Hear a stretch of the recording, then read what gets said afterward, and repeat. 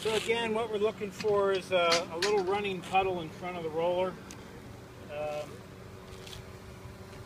I don't know whether to ju- just try to do. it's going to go really fast, so I don't. Yeah. Yep. It is going to go fast.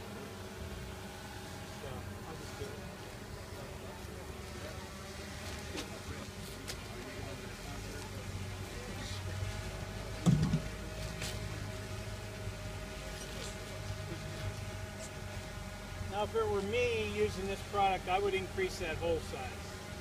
Just increase my productivity. But, because what you're going to be looking for is a running puddle, but it's going to take me a minute to get it get it coming out. I would go. The thing is about a hole, obviously, you can't make a smaller hole, right?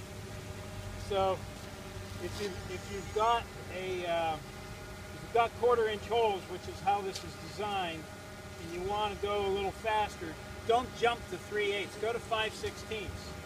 5 sixteenths is a big difference than quarter inch.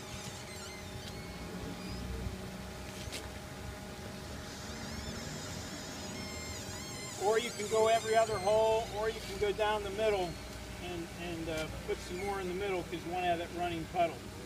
And again, depending on what you're doing, you may want to have an overlap. And there's some plugs in the end that you could take out. This would go a lot faster if we had uh, bigger, uh, bigger holes, but you get a feel for it.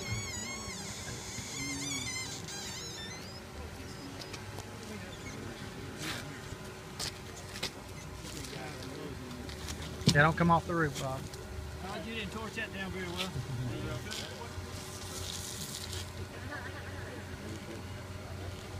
That's right.